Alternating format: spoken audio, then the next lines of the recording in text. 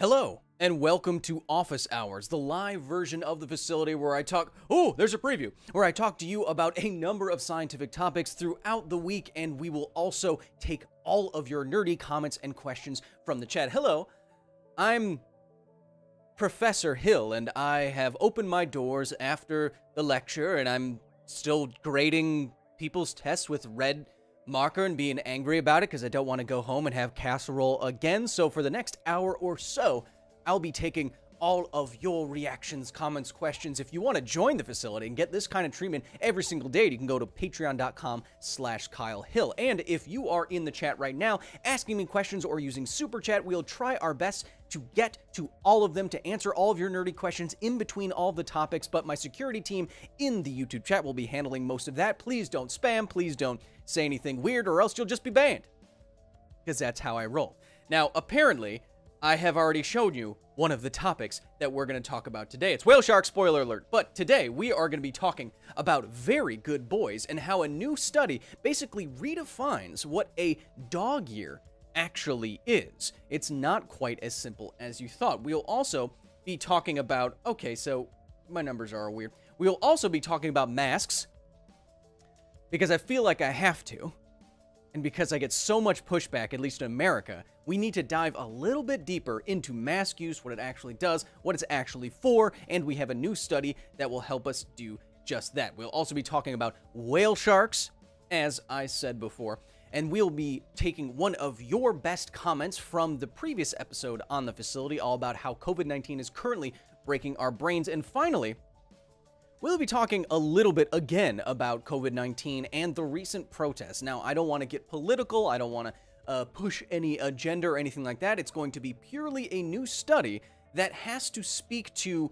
Uh, that speaks to whether or not the recent protests actually increased or not COVID 19 transmission. I think this is something that we've all uh, had some thought about. I myself have had my own intuitions about what it did, but there's a new study actually looking into it. But before before we get into it, we need to talk about our very first topic. Again, thank you for all the super chats so far. Let's get some good old doggos. Dog years. Man's and ladies and them's best friend, as they say. This is a golden retriever puppo, arguably the best puppo. And so what I want to talk to talk about first, it's life, is a redefining of dog years. So if you're a dog owner or you love dogs or what have you, you've probably heard of the concept of dog years. Now, this is the idea that because uh, because dogs don't live as long as humans, that you can track how old a dog basically is based on the length of a uh, just length of a year. So if you track the lifespan of a dog versus the lifespan of a human, you get an idea of how old a dog is relative to how old it actually is. So uh, the common idea is that one dog year, well, a year in a dog's life is equivalent to seven years in a human's life. So seven to one ratio. So if a dog is two years old, it's basically a teenager. And when it gets older and older, you know, when it be, when it's 10 years old, that's a 70 year old dog, like a 70 year old person, very old getting up there in age. Now, we could have just taken this mm, knee jerk style uh, linearization of a lifespan and just said, eh, it basically works. But scientists have actually now looked into it, and I always appreciate that kind of rigor. So, the study I'm talking about is a new study, and what they did is actually pose this question. This is what good scientific studies do. Well, we have this thing that we think is common sense or a good rule of thumb rule of thumb's a bad thing to say, actually, if you look into the.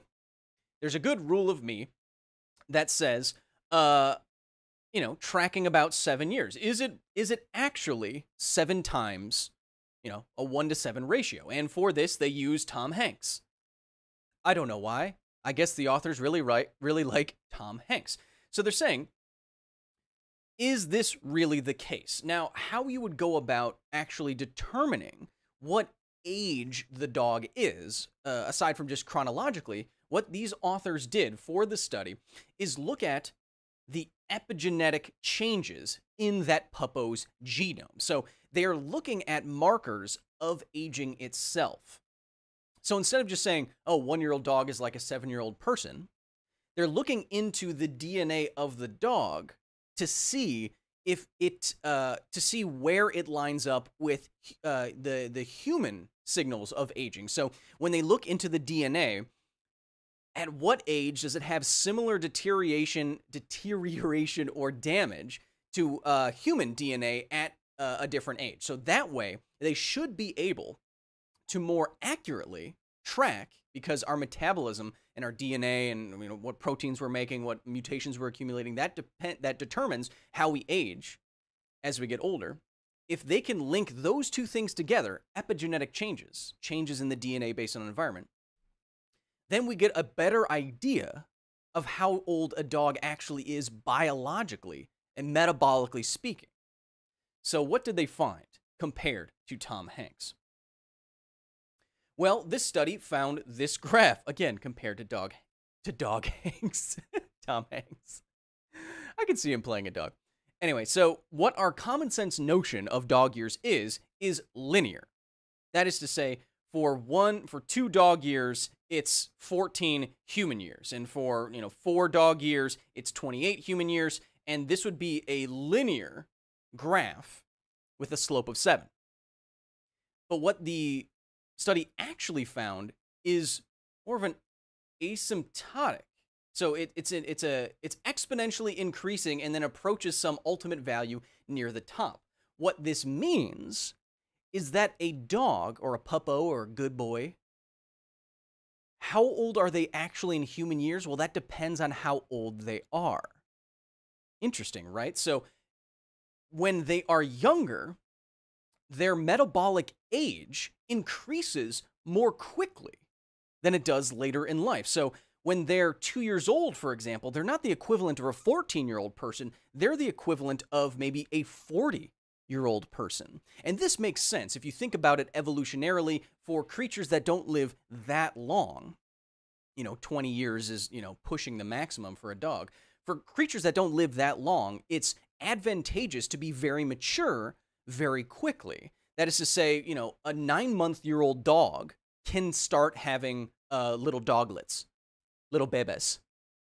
And so that that's evolutionarily advantageous because very early on in its life cycle, it can start having uh, kids, and then those kids go on to propagate the genes of the parents and hopefully be uh, successful evolutionarily speaking. So this makes sense, and it goes against our common sense uh, notion of how lifetimes progress. And that's because uh, we as humans have some of the longest lifespans that there are. And we think of ourselves linearly increasing instead of this kind of graph. When we're, you know, two years old, we're already very mature. That's what a dog is like. That's not like, that's not how humans are. So dog years now have to be redefined by a new complicated equation. This is not something you can just say. It's not, oh, one you know, uh, seven human years, one dog year. No, it depends. If you're talking about a very young dog, the equation you need to see, well, if it's one years old, it might be the equivalent of a 30 to 1 ratio. But around 10 years old, it looks around that 7 to 1 ratio again. So you can see that there is a kernel of truth to the idea of the 7 to 1 ratio but it doesn't hold at all ages at all. So we now kind of have to re- refine what a dog year means. How old is your dog, uh, humanly speaking? Well, that depends. Let's go to the chat.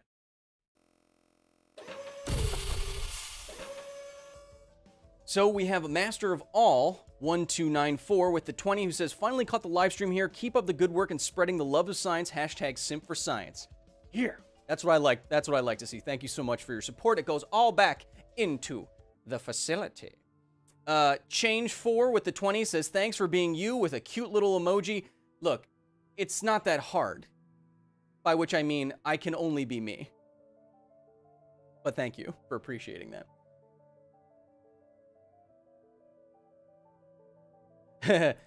Veildarg says, So if it's more of a logarithmic growth, which it is, Good thing that you noticed that. Can we call it dogarithmic? yes. That's great. IMR IMRRO Com says, being a dog owner for years, I did not need Tom Hanks to tell me this. We already know this, Tom. Yeah, jeez. I don't know. I don't know why Tom Hanks is being so weird like that. Nathan Kelly with the five says, Kyle, I'm trying to be better while discussing you, but failing badly. Hmm. What do you recommend when someone intentionally chooses to be ignorant? Well, ignore them. If someone's intentionally choosing to misunderstand something or misrepresent something, then they're not encouraged. They're not. Uh, they're not willing to engage in an actual conversation. And an actual conversation is the only way that we as humans can really progress forward in society. So if they don't want to be a part of that, leave them behind. That's what I say. Eric Chase with the 10 who says, What's your take on using teleportation tech like in Star Trek? I've always had the opinion that I wouldn't want to use one since I believe your original, your original consciousness dies at the send node. I agree. I also think that uh, if you have Star Trek style transporters are something that disassembles your body into its constituent particles, atoms, or even uh, you know subatomic, and then sends that information, that pattern, to a different node, and then reconstitutes you with available materials. It's not sending the material. So in all pract, uh, you know, for all intents and purposes, you die in that instant.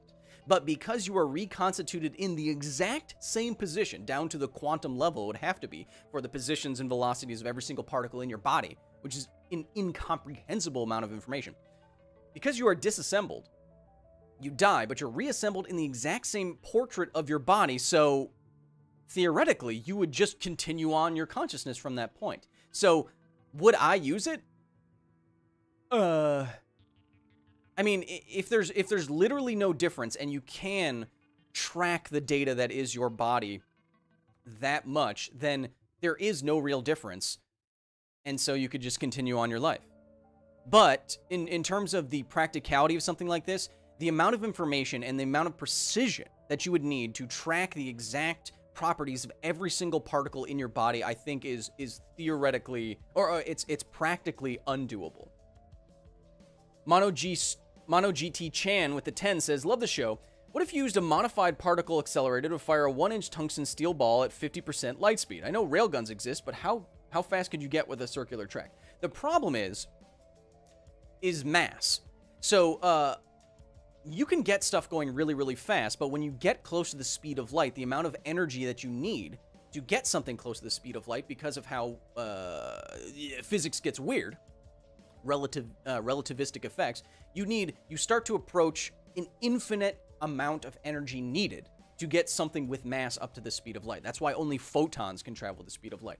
Now with our with our particle accelerators, we can get things really close to the speed of light, like protons, but they have so little mass. We can actually get protons in our best particle accelerators, I believe, to uh, within three meters per second of the speed of light. Think about that out of 300,000 kilometers per second, you're missing just three meters per second. So we can get things going really, really, really, really, really fast, but they have an infinitesimal amount of mass, like protons. To get a tungsten steel ball going that fast, it would obliterate itself way before it starts approaching light speed. Thank you for 10, baby. Jason with the 15 says, First of all, love your content.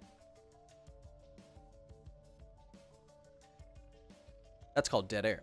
Anyway, this isn't related to what you were talking about, but would but what would you see if a black hole was moving towards you at the speed of light? Well, I don't know. But because that's that would be hard for me to describe. But as a fun little tangent, the episode coming out this week on the facility uh, will be related to black holes, how they look, and how they look in different situations. So stay tuned. We'll be talking about that. Ooh, uh, promptly. Uh, VCDRNY with the 20 says, Thanks for what you do. I always have questions, but not today. Well, I appreciate you simping for science, man. Let's take one or two more before we get to our next topic. Devonta MC says, if you lose too much iron from your blood, would it change color? Uh, well, what's actually changing about your blood uh, and and the what, what changes the coloration of your blood isn't the iron content it's the it's the uh, attachment of oxygen onto the hemoglobin protein, which that just happens to change the type of wavelength that comes off of that protein. So, unlike what your uh, arms look like, this is this is an illusion. Your arms look like your veins are kind of blue, but they're not. That's that's just uh, that's just a change in the reflected light as uh, it goes through your skin, or what it looks like under the skin. But your blood does change color. It's just never blue. It changed color from a light red to red. Like uh, it, it has a range of light red to deep red, and this depends on the uh, how much it is oxygenated. So if you lost iron from your blood, I don't know if that would necessarily be um, what changes the color. But if you lose oxygen from your blood, that definitely changes the color. One more from uh, recent uh, recent member of the facility, Joshua, who says Chauncey approves of your dog content. Chauncey, uh, Josh's dog, likes to watch the stream. Except he did say border collies are their best puppos. Eh. Also, did you know that dogs are about as emotionally complex as humans? By the way, season two of my D&D show. I know, Joshua. We'll talk about it. But that's what I love about dogs is that they uh, they they have a good emotional range to them, and you they express that a lot of the times through their little dog eyebrows, and that makes that gives you a very good connection to them, and uh, that's a, a good dog is priceless. But how old is it? That dependos.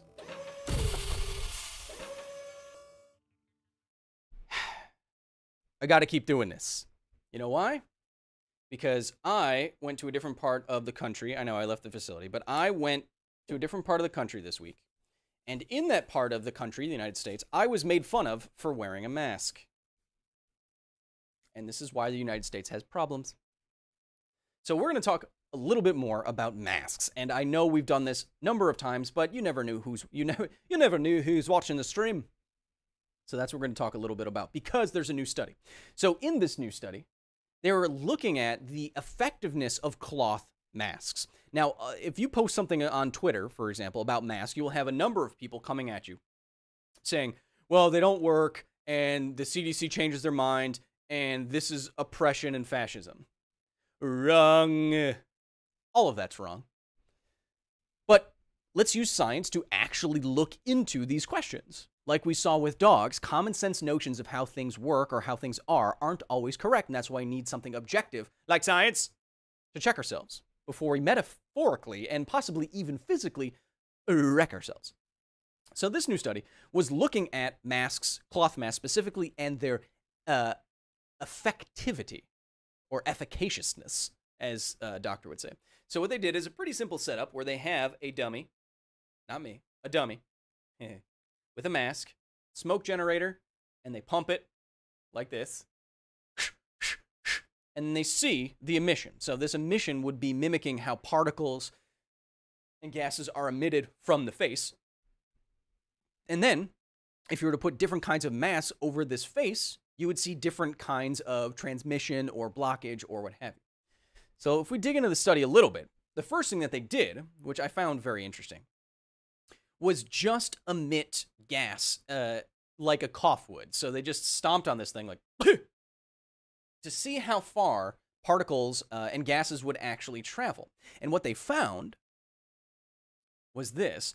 Uh, as opposed to what the CDC says as guidelines to stay apart, not only does it travel six feet, it can travel up to 12 feet while staying rel- relatively together as, as, a, as a bunch of air. So these coughs can travel unblocked by up to 12 feet. So the CDC recommendation is more for you should wear masks and socially distance, and then that makes sense. But you can see why masks are so important because these coughs can travel more than six feet. So if you don't have masks and you're not and you're standing close together, you see the problem because it's 12 feet and then everyone's going to be infected. You don't want that. So then they looked at a number of masks and how they affected this up to 12 foot transmission distance. And they looked into uncovered faces, bandanas, folded handkerchiefs, stitch masks, and this last one you can't see because I'm very good at uh, video production is a uh, off-the-shelf commercial mask like you could buy at CVS, I believe. And so different materials, you know, t-shirt, cotton, quilting cotton, and uh, I don't know, I'm a scientist.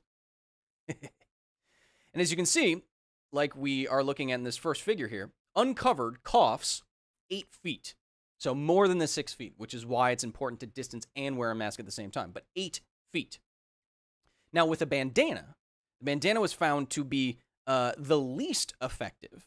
So it is still effective in that it cuts down the distance by more than half, down to three feet, seven inches. But bandanas are the worst masks you can wear to prevent uh, egress of gas from your face. So if you're wearing bandanas, instead, you might want to look into a folded handkerchief because that will cut that distance again by uh, two thirds, down to just one foot or so away from your face. What's even better is a stitched mask, like you may have seen me wearing at the facility or uh, on social media, and that cuts it down to just 2.5 inches. So from 8 feet to 2.5 inches.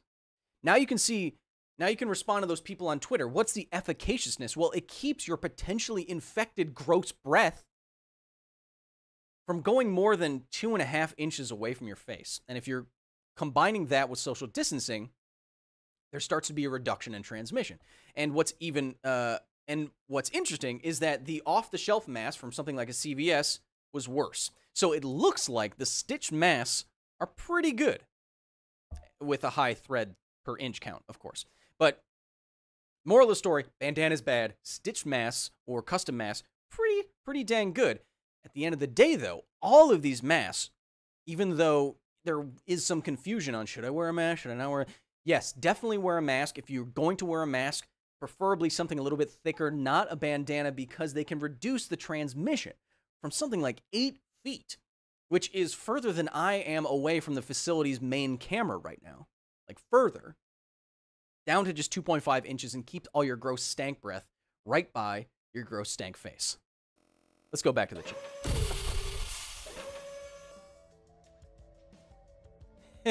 Imperial Fanatic says, "Would Darth Vader's mask work?" I don't know how. I what um, I did a video on because science about this once. I don't think his mask is for filtration. What the canon explanation is is that his lungs got very damaged. Darth Vader's lungs got very damaged when he was breathing in the smoky air on Mustafar because he didn't have the high ground like an idiot. And because that, he need he now needs a CPAP machine, which a lot of humans need when they uh, when their breathing is uh, inhibited or, or, otherwise damaged. And what this does is create uh, the mask creates a pressurized environment such that it's easier to get air into and out of it. So uh, the reason why you breathe is because you increase the volume of your lungs. And when you do that, the pressure in your lungs drops below atmospheric pressure. Then the atmosphere, the world's atmosphere, wants to push its way into your mouth. If you want to think about it th that that way. And so when there's lower pressure in your lungs, air comes in, and uh, when you squeeze your lung, creates a higher pressure, forces it out. Now, what a Darth Vader mask or a CPAP machine, what it actually does is help that art, uh, give an artificial boost to those pressure differentials to help air in and out. So would Darth Vader's mask necessarily work?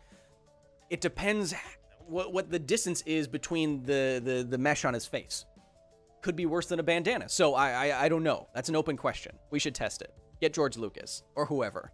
Or whoever's screwing up Darth. Uh, hey Kevin, who's screwing who's screwing up uh, Star Wars right now?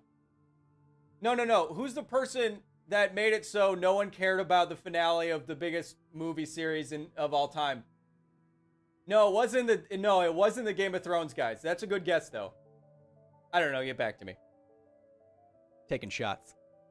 Guardian Angel 13RN with the 20 says, Hey Kyle, thanks for everything you do. Love the topics today. Simple question. Someone wanted to look into an interesting study. What would you suggest? Hashtag Kyle for science. That's true. I am running for science this year. um, that's super general. If you want to look at an interesting study, studies are everywhere. But uh, I'll give you a handy little tip. Uh, something that Google has is called Google Scholar. You just have to Google Google Scholar, and it's a it's a um, it's a uh, specialty within Google. It's a specialty search engine that just searches scientific studies. So if you're interested in something, and we can do, um, we can do.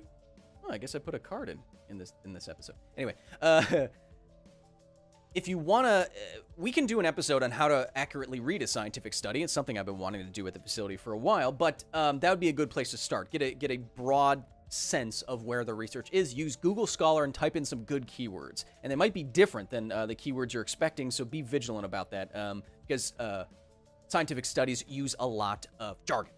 The Reicheneck, a recent and very active member of the facility, the Reicheneck with 10 says, as you know, I'm a nurse. We are required to wear surgical masks. Any evidence on those contained in that study? Thank you, Simp for Science. Hashtag Simp for Science. Um, no, that was uh, in that study. They didn't have anything on the uh, efficaciousness of the uh, of of uh, medical grade PPE. I, I think, well, I don't know the specific data for that off the top of my head in terms of reduction of distance, um, because this is a different regime. This study wasn't talking about this. This is just for egress, and this is where the confusion is. Why should people wear masks? It's to prevent your gross breath from going out into other people's gross faces what medical grade PPE is is doing is using a high thread count, uh, a very low porosity, to prevent ingress, to prevent our medical staff uh, and, and, nurses such as yourself from uh, inhaling particulate. So those are two different regimes, and you'd have to look into a different study for that specifically. Master of all, 1294 with the five.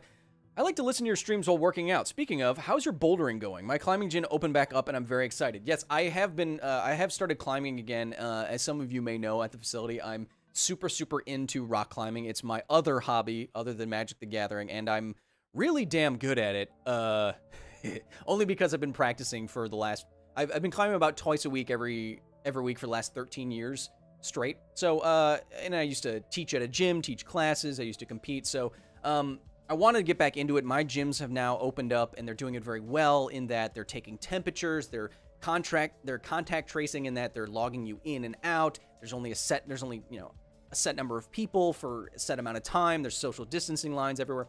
Anyway, it's good. To answer your question, my bouldering's terrible right now. So um, I'm part of a rarefied air of climbers who climb uh, double digits, like V10 and harder. And uh, when I've gotten on the wall, I've put on some poundage from from working out here, but also just being locked down. And so right now I feel really, really heavy and uncoordinated, and um, my forearm strength isn't there, and neither is my skin. So right now I'm like struggling on V6, which makes me feel bad, relatively speaking. So it's it's not going great. Thanks. Jesse Frederick Tench with the 10 who says, Hey, oh, buy a treat for the, for the facility pets on me. Yeah, they're big pets. Do you have any thoughts on the future evolution of plant on the on our future evolution, off-planet or void ecology in general. So, uh, kind of exobiology. I have no idea what I what I uh, what I would point towards. And let's stop the super chats for just a second as we can get to our next topic.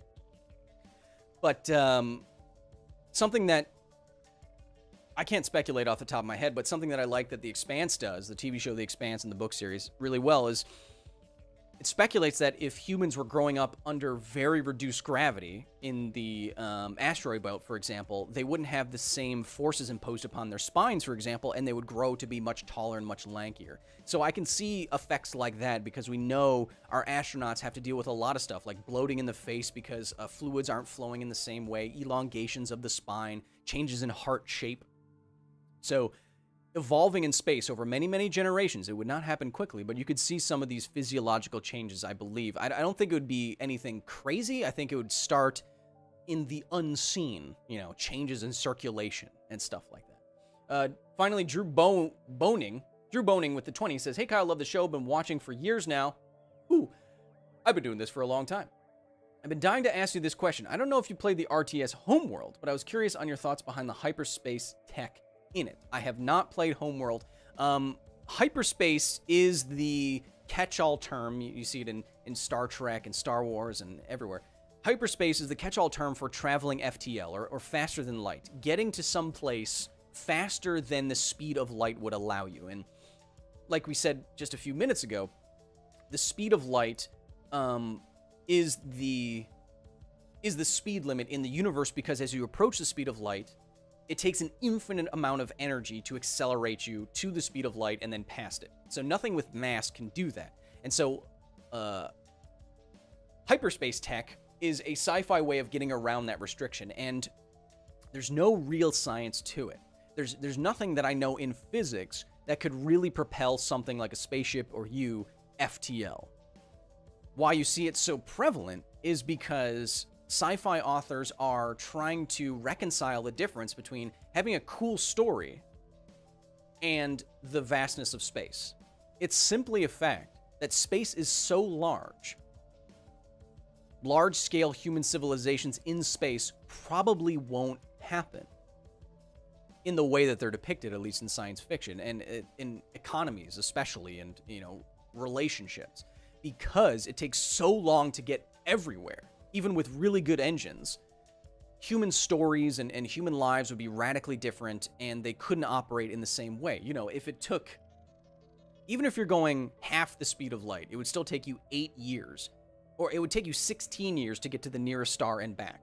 And economies right now are not set up to have a 16 year delay. Ne- neither are human relationships. So hyperspace tech is not a real sciency concept. It's more of a good sci-fi workaround, a bending of physics, as it were, to make sci-fi stories really compelling. And I've I've spoken to the authors of The Expanse about this. You know, especially for the TV show, Ty Franck says, you know, it wouldn't be very exciting to see someone traveling to a rock for two weeks. So hyperspace tech Less science, more story. Now let's get to our third topic. I love sharks. Sharks are maybe my favorite animal behind uh, the flamboyant cuttle- cuttlefish. And uh, there are few sharks more impressive than the whale shark, the largest fish in the ocean, the largest bony fish in the ocean. And they are absolutely incredible and they're beautiful and they're not dangerous to humans or anything. They're not man eaters. All they do is they suck in a lot of fish with their giant gaping maws. So, whale sharks are already awesome. But Kyle, you say, in this tone of voice, how could whale sharks get any more awesome? Glad you asked that, person who doesn't have an invisible mug. I'll tell you how. Eye teeth. I'll tell you how. Whale sharks have teeth on their eyes. How metal is that? Don't worry, I'll show you. So, whale sharks, in proportion to their body, have very tiny eyes. But those eyes have teeth on them. So, uh, in a new paper, we're looking at a lot of new papers. In a new paper, uh, sharks were look uh, whale sharks were observed, and their eyes more specifically. And when oh jeez, you gotta warn me when you do that, Rodney. But when you look at a whale shark's eye, really up close, it's got a nice little pupe. And then you look more closely. So you see the shark's skin here. And what and what shark skin is famous for having uh, are denticles. So, you know, dent, you know, it, it implies teeth and bone. These are named after, you know, teeth and bone words. I'm a professor of English, as you know. Um, but as denticles all across its skin. So uh, you may have heard that if you rub a shark one way, don't do this anyway. But if you were to touch a shark one way, it's smooth. But if you touch a shark another way, it's very rough and coarse and can cut you. That's because its skin is covered in denticles, and these denticles aren't really used offensively or anything like like its teeth and its uh, jaws would be. But these denticles help uh, inhibit the growth of bacteria and uh, inhibit the attachment of parasites because on a rough um, sharpie surface, technically, technical word, they have harder time getting purchased. And so now you see these denticles here. Look at the whale shark's eye. If you notice the same pattern here, these are denticles on the eyeball of the whale shark. Now, why would they have something like this? Take a second to think about that as we look more closely. So you have the whale shark's eye here, and you can see uh, a D in the figure, in the accompanying figure here there it does come out from the eye a little bit and you have these little denticles these little eye uh, these little teeth on whale shark eyes why would they have this well like for the rest of their body this would be to inhibit growth of bacteria and such and especially parasites now for a shark like uh, mako shark mako sharks travel incredibly quickly i think they're the quickest don't quote me on that but mako sharks are incredibly fast, and so when you're in, when you're a very fast-moving object in the water, it's harder for parasites, which are usually just floating in the water and then attached to stuff and then grow. When you're really fast, it's hard to attach onto you. But when you're really big, when you're really slow, when you're in fact the biggest bony fish in the ocean, parasites attach onto you no problem. And you can see this in the Greenland shark, for example, an extremely slow moving shark that usually has parasites covering its eyes so much that it's blind. The whale shark's evolutionary adaptation to this is to put teeth on its dang eyes. How cool is that? So, giant, slow moving fish that would have a, a, hard time clearing parasites off its own eyes. Solution teeth eyes. And if you look more closely, we're not fooling around here. These denticles are sharp and they're like teeth, and this is on its dang eyes. Even, close, uh, even closer, you can see that these have a lot of uh, lot of lot of lot of scraping power, as it were, which makes it difficult for parasites to attach. Whale sharks have teeth eyes. Eh, not a lot of stuff gets cooler than that. Let's go back to the chat.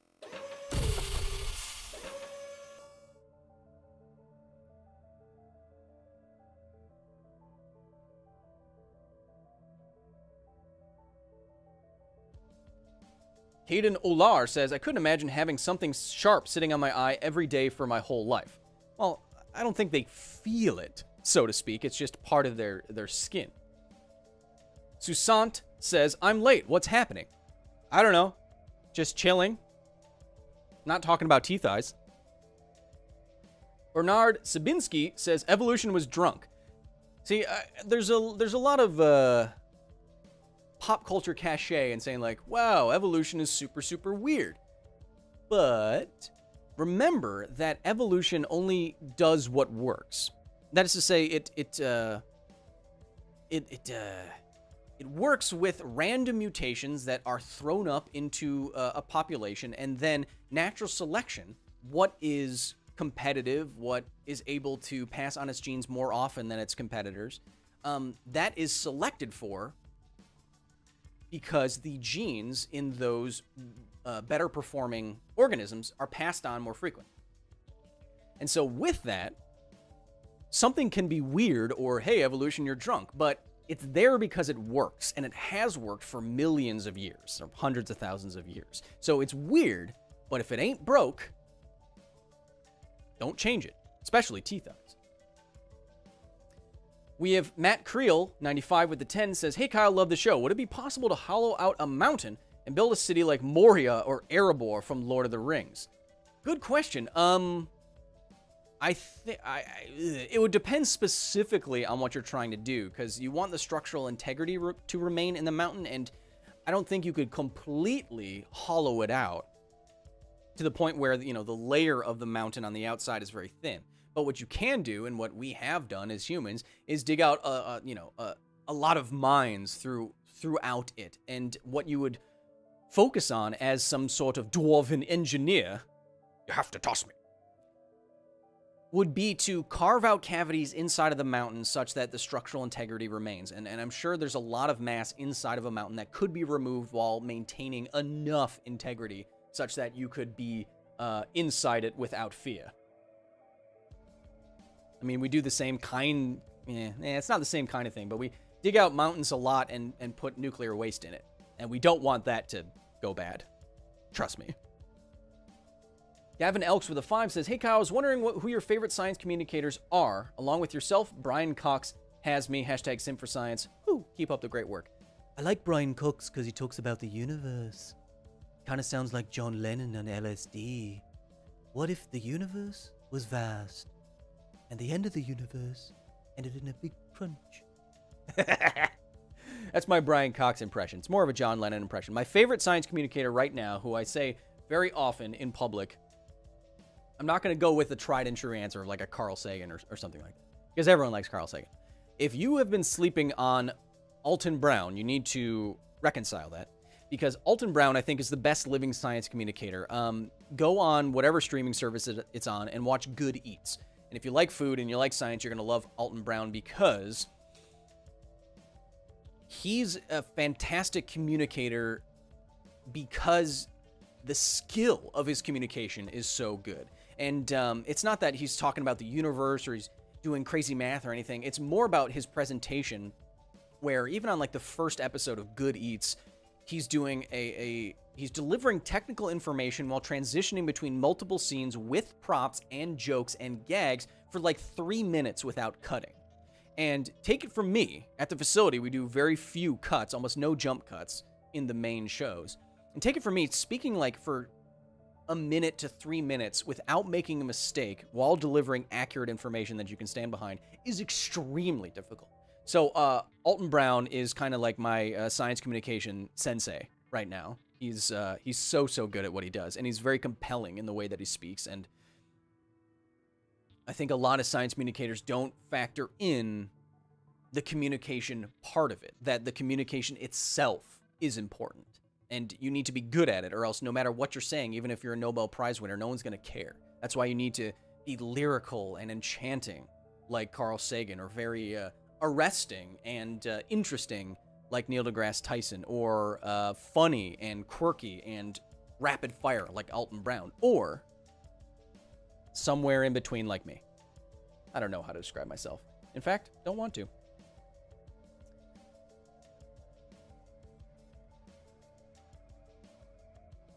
A lot of people saying they also love Alton Brown. Of course. Basil says, is the speed of sound affected by gravity? Like if you shout down from a tower or up, will the speed differ? No. Uh, the speed of sound is not affected by gravity, but kind of, by which I mean that the density of air does affect the speed of sound. And the density of air is influenced by the gravitational pull of Earth. So our atmosphere is thicker at the bottom, more wispy at the top, you know, about uh, 62 miles up that's when it gets so rarefied and so wispy that you can't tell the difference between the atmosphere and space. We call that the Kármán line. The more you know. But, uh, so the density of air, that uh, think about how air travels. Or, or how a pressure wave would travel in air, right? You have two molecules like this. Don't give this. Two molecules like this. For information to be transferred, they would have to hit each other, right? Something would have to happen. Now, if air molecules are very far apart, this is more difficult because they have to travel for longer before they hit some. And if they're very close together, it's easy because they all hit each other and they're all very close together. So, if you have a pressure wave traveling through air, the denser that air is, closer to uh, sea level and below sea level, the faster speed of sound will be. And vice versa with up top. And uh, you can continue on this thought by saying, well, what if the atoms are even closer together? What if uh, it's water in a liquid where they're even closer together? Well, then the information can travel even faster. And in fact, the speed of sound in water is five times it is five times what it is in air. Oh, let's go even further, Kyle. Yes, now you're thinking like a student. Now you're thinking like a critical thinker. Let's go even further. What about a solid where everything is the closest it can be together? Well, in fact, the speed of sound in something like steel is even faster. It's hundreds of times faster than it is in something like air. And now you're learning a little bit about the universe just by asking simple questions. I love that. And I love you. Not really, just something you say. Let's go to the next topic. Okay, now what you can't see, maybe you can, is I just spilled water all over myself, and that's what I get. And I'm tiny now. We're now uh, we're now on to it's live. We're now on to peer review, where I take see I spilled water all over myself. Now, where I take a good comment or uh, response or something from a the latest episode of the facility and we honor it by going to peer review. This uh, this comment comes from the most recent episode of the facility, more of a sit down fireside chat with Kyle, where we're talking about COVID nineteen and psychology. If you haven't watched that, please go watch it. But it's from Ad Astra Magdalene, who has something very poignant to say. So I had a point where in the episode I said, you know, there's a failure of memory here when people aren't taking COVID 19 and the pandemic seriously. It's been a long time, at least in my generation. I've never experienced a pandemic, not like this.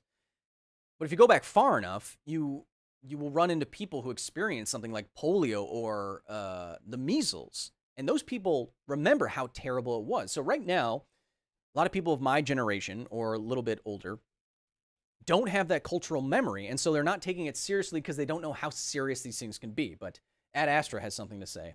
They said, I was one of the first kids to get the oral polio vaccine. My mother stood in line with us for hours because she spent every spring worrying about the first mosquitoes appearing and spreading the illness as a vector.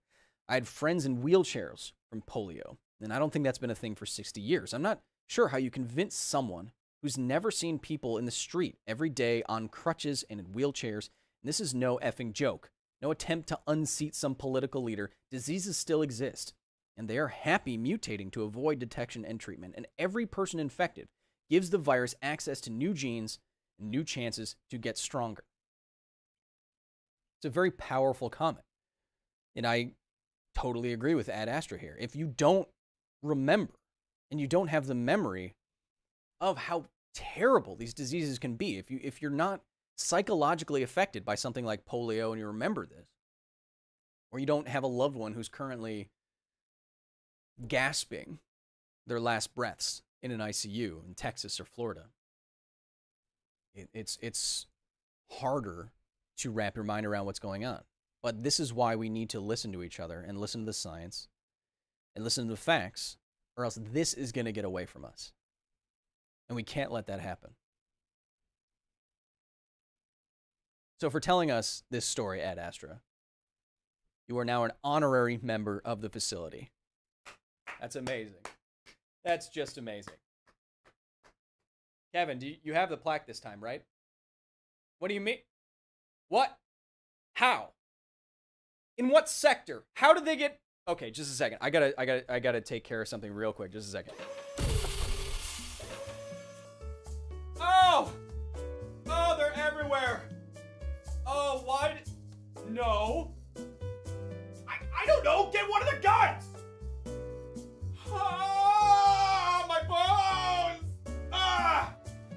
Oh, I don't know. Aria, lock it down. Oh, Aria, lock it down. Five, six, and seven. That's right. Ah! Oh! Oh! Oh,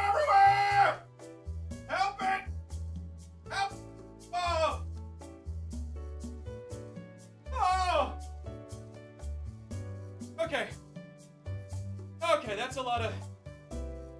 Okay, I think it's fine. I think it's fine.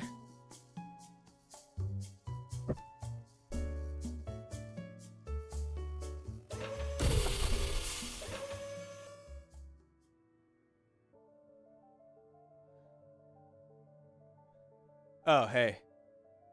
Yeah, let's let's go back. Let's let's check out the chat.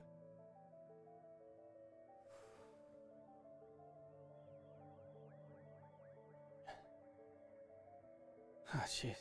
Jeez. Yeah. Ah. It's fine. It's fine. Joseph Jonestar says, uh, the only thought experiment I've ever heard of was Roko's Basilisk. All hail the almighty Basilisk, of course. Reichenek with the two said, Did Kevin just die? Depends on what you mean by Kevin.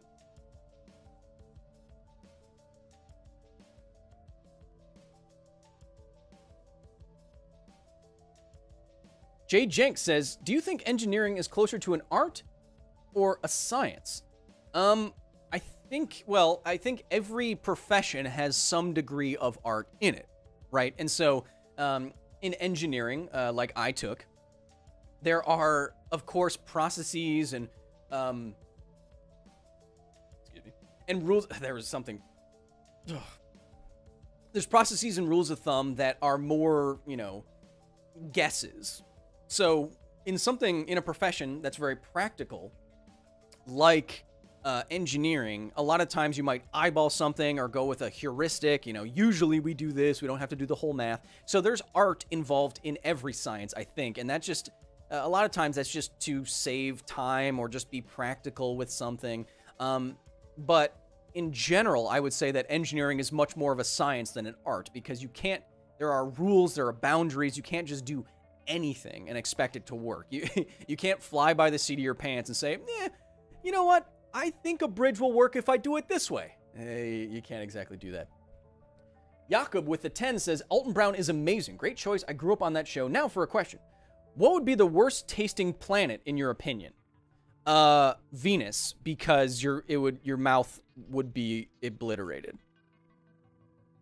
I think that since Venus's atmosphere and surface is effectively what hell would be, eating hell seems bad. And you can quote me on that. We have Axel Creed, frequent commenter and supporter with the five, who says, $5 make you holler. Ah! Ugh. I'm not a clown. I don't I don't do tricks. Except sometimes I do that. Jonathan Melgard, Melgard with the 100, hashtag simp for science. Couldn't we use tech like Tesla valve or gun suppressors in our mask to slow down our breath? Huh. Well, the, the problem is with mass, it's not that you want to uh, stop. It's not that you want to stop the breath. It's that you want certain things in the breath not to get to you. And so, necessarily, if you have something a very fine filter, it's going to slow down the breath as much as it can and as much as it has to. So, it's not really a matter of slowing down the breath. It's more so getting the, the best filter, the best filtration that you can. In theory, you could have something that's incredibly effective at filtering something out. Maybe it's it's not just pores, but it's also like, you know, ionization or something. So in theory, you could have something that let your breath pass through as normal, but it was filtering out the, the pathogen and the particulate um, very effectively. And that would be a perfect mask. But we don't have those. We just have people complaining about masks, in my country at least. Aztec Dragon with a five who says, How things, how bad would you think? Oh, how bad, it's life. How bad would things get if you cut down all of the tropical forests on Earth? Well, the forests and the trees of the Earth aren't the main oxygen producing places on Earth. That's uh, all the uh, tiny little uh, tiny little microorganisms in the ocean, and that's how oxygen started on Earth with uh, cyanobacteria and stuff in the oceans producing oxygen as a waste product, and basically a poison to everything else. But trees aren't the main oxygen producer on Earth, but they they're one of the biggest, and they are like the lungs of the planet. And so, if you were to uh, remove the lungs of the planet, that sounds bad. It would be like the planet had COVID. Don't give the planet COVID. Save a tree. Bulwick, one of my Professor Emerituses, one of the originals at the facility with the 20, says Fun fact about hollowed out cities uh, Kinmen, the Taiwanese granite island off the coast of China, is a vast underground system with bases and hospitals. It's known for knives made from artillery shells fired during World War II. I'm going to have to check that out. Someone wants to put a link to that in the chat. That sounds awesome. Master of All, again, supporting Simping for Science. Hey Kyle, with the five, just want to let you know that you inspired me to go into a Bachelor's of Science in Physics and Mathematics. Keep up the spreading of science. That let's let's let's end on that uh, before the next topic. Master of all, I'm so proud of you. If I mean, look look at how much I go through for you. This is not gonna heal properly, but I'm so honored to be a part of your learning journey, and I wish you all the best in your studies. And I will do my very best to continue to entertain and to interest you and everyone who watches anything that I do. You're going to do great. I can feel it. Because who has this much disposable income to me? It's got to be a nerd. And nerds do well in college. One of my recent facility members, whose name I, that I hate, called Poop Sled, with the 20, says, Longtime fan, thanks for all you do. Sorry about my name. See? It just it just makes me think of like a crap toboggan, and I don't like thinking about that. Anyway, let's go on to our last topic. So, like I said, and this is an amazing photo, which is why I used it. But uh, like I said, I don't want to get political, but I think a lot of us had a general feeling that when all the protests for uh, for everything that was going down, when all the protests were going on, that it was unfortunate, not unfortunate they were happening, but unfortunate that they were happening during a pandemic because we had this feeling that if a lot of people were out, this woman's not wearing a mask, but if a lot of people were out and about and crowding together, that this would cause spikes in COVID 19 cases. And when you go online, even today, I had some guy tweeting at me who said um, that uh, the spikes are because of the protests, and therefore the protests were bad. You can see there's a fallacy here. Anyway, it's Twitter. But again, like we did with dog years, is that true? Is our first reaction, is our is our knee jerk reaction to this relationship true? Well, we're looking at another study today that looked at just that.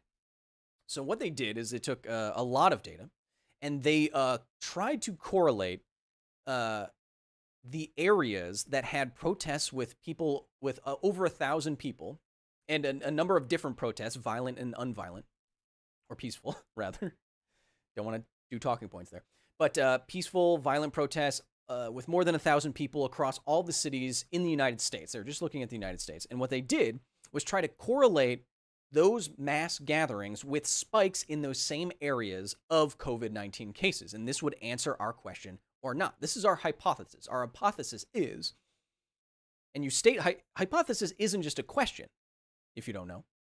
Hypothesis is a statement that you're looking to uh, to prove or falsify beyond statistical randomness. So it has to be beyond the null hypothesis, as they say. So our hypothesis is that uh, uh, mass protests in the United States increased the number of COVID 19 cases in those areas. So that's our hypothesis. Okay, well, now what does the data say in relation to that hypothesis? Well, these numbers are complicated, but let me just say that if it's above, if it's one or above, that means that cases are increasing. So as you can see, from actually, and all the days on all of the areas they were looking at in the primary uh, counties that had these protests, from zero to two and all the way from 21 days plus, zero zero zero zero zero zero zero zero zero zero or negative. Now, when you look at all this data in aggregate, then zero zero zero zero negative, what do we say about our hypothesis? Well, let's go to the authors. While it is possible, quoting them, while it is possible that the protest caused an increase in the spread of COVID 19 among those who attended the process, well, that's our hypothesis, we demonstrate that the process the protests had little effect on the spread of COVID 19 for the entire population of the counties with protests during the more than three weeks, three weeks, I can't read, three weeks following protest onset. Here's, here's, the, here's the big one. This is what I would bold in my report. In most cases, the estimated longer run effect post 21 days was negative, though not statistically distinguishable from zero. So that's the big point. The increase the possible increase in COVID 19 cases after protests was not distinguishable from zero. So, our null hypothesis that we tried to overcome is that these two things are not related. Because our hypothesis said, well, they are. But what the data says is that there is no statistical difference between the number of cases naturally and what happened after the protests in the United States, which means, despite even what uh, I thought and maybe many of you thought, there is no actual correlation, at least according to this one study, and one study is just one study. But according to this study, there is no correlation between the, the protests that happened and increase in COVID 19 cases in those areas. So if you see someone on social media or what have you using that argument in the face of this data, if they know about this data, that means they are trying very hard to make an argument against these protests and what they stand for for reasons that perhaps are not scientific. Let me put it that way. Let's go to the chat one more time.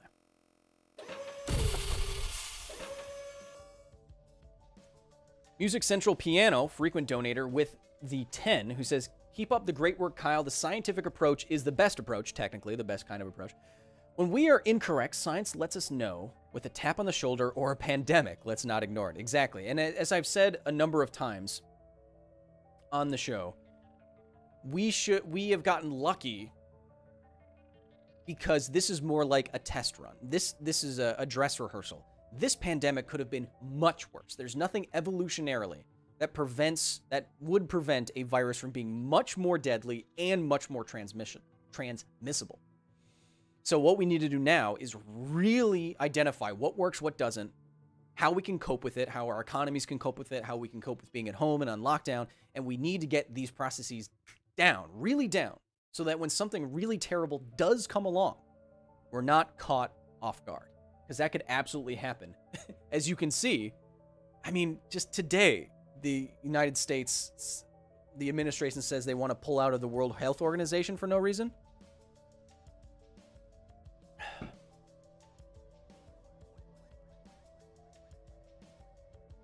Tony Your Shadow with the $6 says, Hey Kyle, want to let you know a professor I do neutrino research with caught me watching your videos one day and loved your work, loved your hair too. thank you. Tell your professor I say thank you.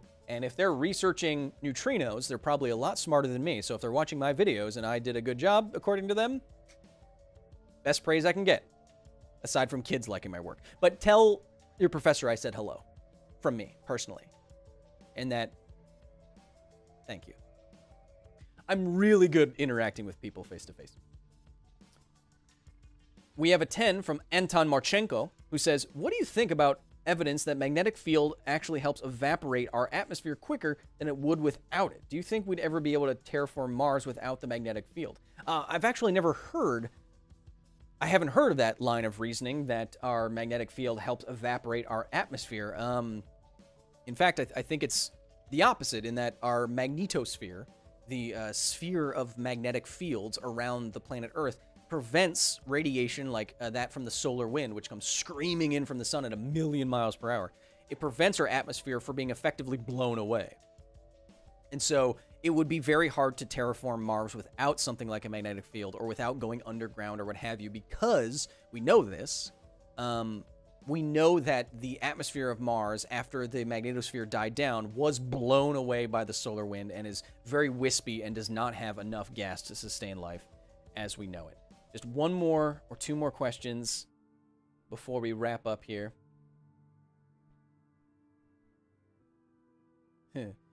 Java Monk, Java Monk says, been a huge fan of you for a long time. What kind of stuff can you do with a Hill engine? Can you dig out an underground lair for maybe super villain in denial like me? No, I'm not.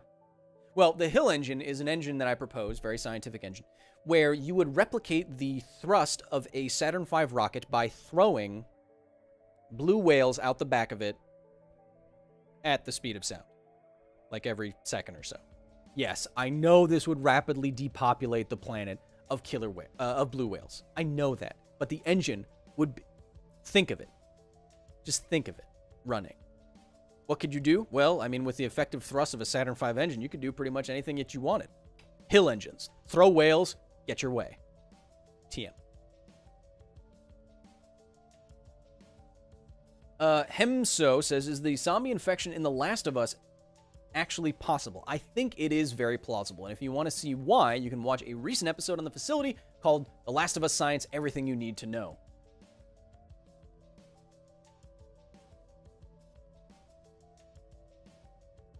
Uh, Jabo Funtime says, uh, one of my security teams says, "Hey boss, there's uh, some more of those things outside the core. Maybe we should wrap." You know what? That's a uh, yeah, yeah. That's a good idea. I, I don't I gotta.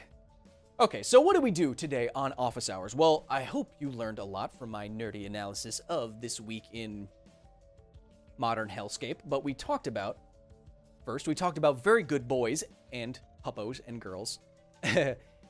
as to uh, we, we talked about how dog years our conception of dog years doesn't really track with the genetic reality of how a dog ages in fact it's not linear it's not 7 to 1 it depends on how old the dog is at every point it's logarithmic or as one commenter pointed out dogarithmic which is what i'm going to say from now on. If a dog is very young, it matures much more quickly than 7 to 1, and when it gets older, that's when it starts getting closer to that 7 to 1 age. We also talked about mass and why you should be wearing one, of course, because it reduces the distance that your gross breath travels, but specifically, those bandanas that the CDC said, you know, you should even wear a bandana, it does matter what kind of cloth that you're wearing. Stitch masks seem to work best. We also talked about whale sharks how cool sharks are. Not only do they have teeth on their skin, they have teeth on their eyeballs.